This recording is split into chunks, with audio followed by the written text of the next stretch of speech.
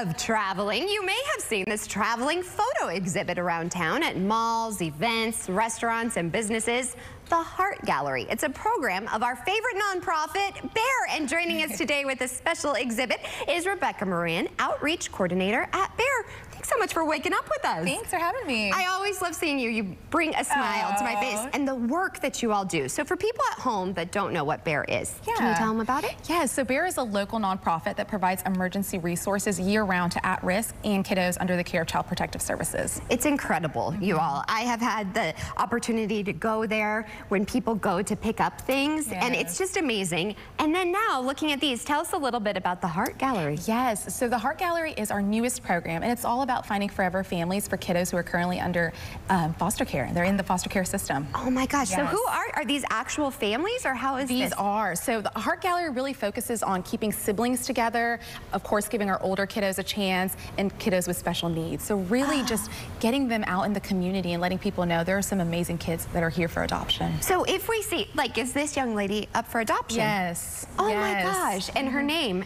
Yes, Aaliyah, oh, yes. She's 12. Mm -hmm. So if you stop and you see this and you're drawn mm -hmm. to a painting or a photograph, yeah. this is an actual child that needs help. This is an actual child. And even if you donate to BEAR, if you're donating clothes, if you're donating shoes or a Christmas gift or even backpacks, it's going to go to a child just like the ones you see in our Heart Gallery exhibit.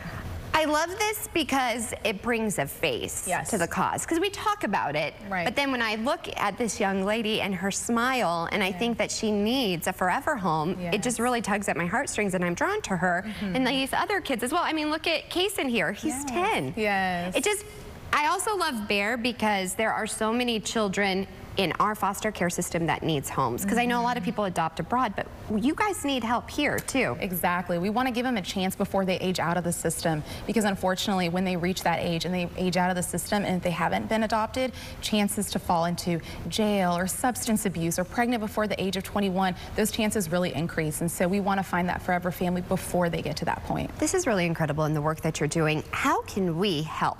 So many ways. So if you're a volunteer photographer, we're always in the look for people who have those skills. You can volunteer and be a photographer with us, or you can host an exhibit. We always say no venue is too small or too big. Here we have four photographs, but if you want one, if you want 30, we make it happen. We make it quick and easy. And then of course, always come into our warehouse to donate items like clothing, shoes, diapers, a little bit of everything. I absolutely love it. We have all of the information also on your screen.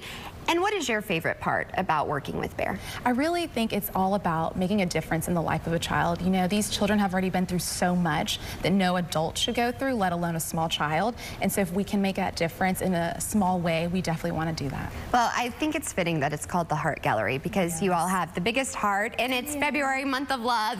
So I would love it if somebody is adopted from seeing these photos. So yeah, please let us know. Absolutely. And I'd love to have you all back. Wonderful. We love to support BEAR and our other local nonprofits. We have, of course, we'll have more information over on our website, cw39.com.